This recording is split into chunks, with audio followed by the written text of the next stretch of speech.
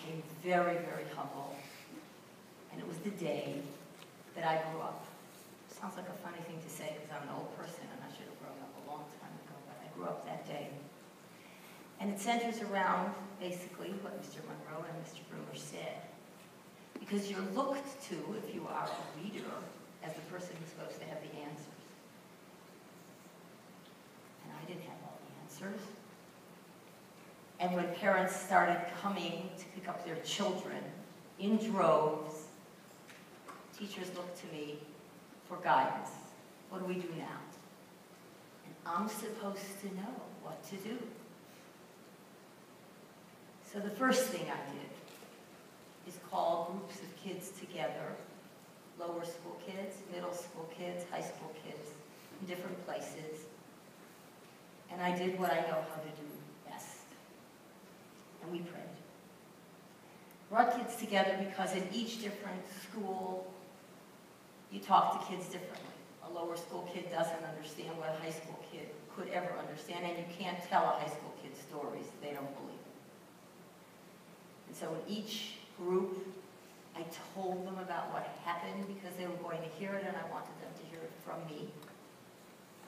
And I tried to explain because, and I couldn't, what was going on in the world. And the most important message I needed to send to them is, here, in this building, we're going to try to keep you safe.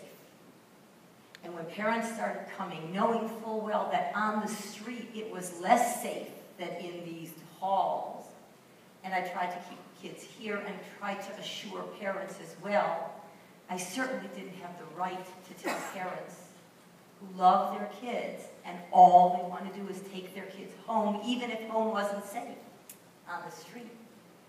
I couldn't tell them no.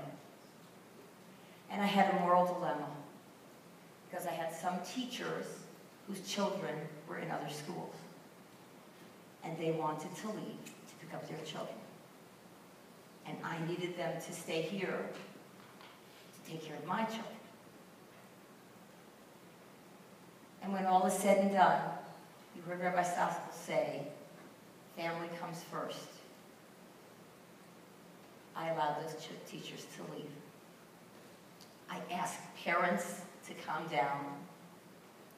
Some listened, some didn't. We prayed. We said to Tehillim together. And I had to allow teachers to go where they, their heart took them. And I had a group of us keeping all the rest of the kids in the school together and trying to convey to them that we were going to take care of them. I don't know if Ellie felt taken care of. Remember assembly? And I hope you felt taken care of because my job is to take care of my children. And I have family in New York. And at the end of the day, I called to make sure you were okay. But first, and first, first,